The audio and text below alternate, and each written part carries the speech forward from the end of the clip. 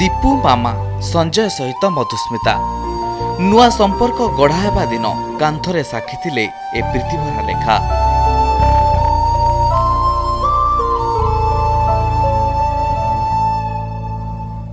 କିନ୍ତୁ ଦିନ କେଇଟା ପରେ ଦୂରେଇ ଗଲେ ଦୀପୁ। ସବୁଦିନ ପାଇଁ ସେପାରିକୁ ଚାଲିଗଲେ ସଞ୍ଜୟ।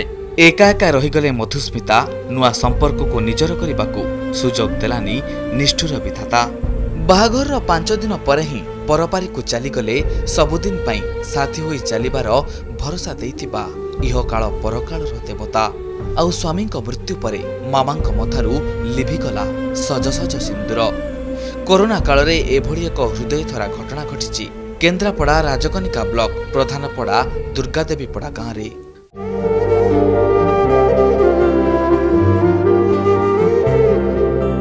ତେବେ ସଞ୍ଜୟ କୁମାର ନାୟକ ବେଙ୍ଗାଲୁରୁରେ ଏକ ଘରୋଇ କମ୍ପାନୀରେ କାମ କରୁଥିଲେ। ତାଙ୍କ ବାହାଘର ରାଜକନିକା ବ୍ଲକର ଓଳାଭାର ପଞ୍ଚାୟତର ଏକ ଗାଁରେ ସ୍ଥିର କରାଯାଇଥିଲା। ବାହାଘର ପାଇଁ ସେ ଏକ ତାରିଖ ଦିନ ଗାଁକୁ ଫେରିଥିଲେ। ଗତ ନଅ ତାରିଖ ଦିନ ବାହାଘର ହୋଇଥିଲା। ଦୀପୁ ବେଙ୍ଗାଲୁରୁରୁ ଫେରିବା ପରେ ତାଙ୍କର କୋଭିଡ ପରୀକ୍ଷା ବି କରାଯାଇଥିଲା। କିନ୍ତୁ ରିପୋର୍ଟ ନେଗେଟିଭ ଆସିଥିଲା।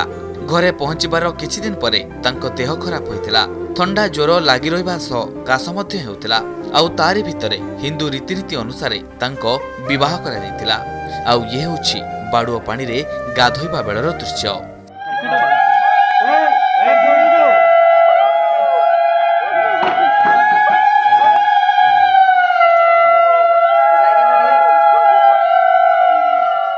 ସେପଟେ ଔଷଧ ଖାଇବା ପରେ ମଧ୍ୟ ସଞ୍ଜୟଙ୍କର କାଶ ଜ୍ୱର କମି ନଥିଲା ବାର ତାରିଖରେ ଚତୁର୍ଥୀ ଥିବା ବେଳେ ଅସୁସ୍ଥ ସତ୍ତ୍ୱେ ମଧ୍ୟ ଚତୁର୍ଥୀ ପିଣ୍ଡ ପଡ଼ିବା ସହ ହୋମ ହୋଇଥିଲା।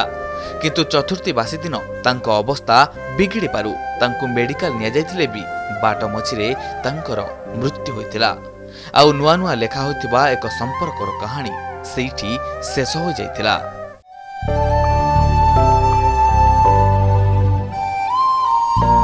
ଅନ୍ୟପଟେ ହାତରୁ ଲିଭିନି ମେହେନ୍ଦି ପାଦରୁ ଲିଭିନି ଅଳତା ହେଲେ ଜୀବନ ଦୀପ ଲିଭିଯିବା ପରେ ଜୁଇରେ ଜଳିଛି ଚିତା। ରାଜଧାନୀର ନଅଟି ହସ୍ପିଟାଲ ହାତ ଟେକି ଦେବା ପରେ ହାରି ଯାଇଛନ୍ତି ନବବିବାହିତା। ତେବେ ବଡ଼ପାଳ ସାହିର ବେଣୁଧର ପାଳଙ୍କ ଝିଅ ସ୍ୱର୍ଣ୍ଣଲତା ଗତ ମାସ ଅଠେଇଶ ତାରିଖରେ ବିଷ୍ଣୁଙ୍କୁ ବିବାହ କରିଥିଲେ। କିଛି ଦିନ ହେବ ତାଙ୍କୁ ଜ୍ୱର ଲାଗି ରହିଥିଲା।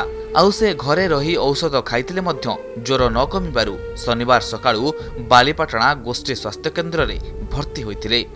କିନ୍ତୁ ଅବସ୍ଥା ଗୁରୁତର ଥିବାରୁ ତାଙ୍କୁ କ୍ୟାପିଟାଲ ହସ୍ପିଟାଲକୁ ରେଫର କରାଯାଇଥିଲା। ତାପରେ କଟକ ଯିବା ପାଇଁ ପରାମର୍ଶ ଦିଆଯାଇଥିଲା। ମାତ୍ର ପରିବାର ଲୋକେ କଟକ ନ ନେଇ ମହିଳାଙ୍କୁ ଭୁବନେଶ୍ୱରରେ ଦେଖାଇଥିଲେ।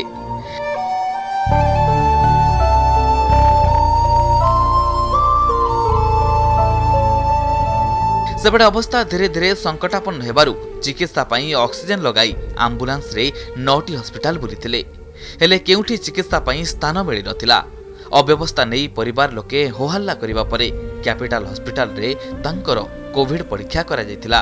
ମାତ୍ର ରିପୋର୍ଟ ପଜିଟିଭ ଆସିବା ପୂର୍ବରୁ ସେହି ହସ୍ପିଟାଲରେ ହିଁ ନବବିବାହିତା ଆଖି ବୁଜି ଦେଇଥିଲେ। ଆଉ ସମ୍ପର୍କର ରାସ୍ତାରେ ବାଟ ଚାଲିବା ଆଗରୁ ସ୍ୱର୍ଣ୍ଣଲତା ସବୁଦିନ ପାଇଁ ବାହୁଡ଼ି ଯାଇଥିଲେ। ସତରେ ବିବାହକୁ ନେଇ ଏ ଦୁଇଟି କାହାଣୀ ହୃଦୟ ବିଦାରକ କଷ୍ଟଦାୟକ। ରାଜକନିକାରୁ ପ୍ରବୀଣ ବଳ ବାଲିପାଟଣାରୁ ବସନ୍ତ ଦାସଙ୍କ ରିପୋର୍ଟ କନକ ନ୍ୟୁଜ୍।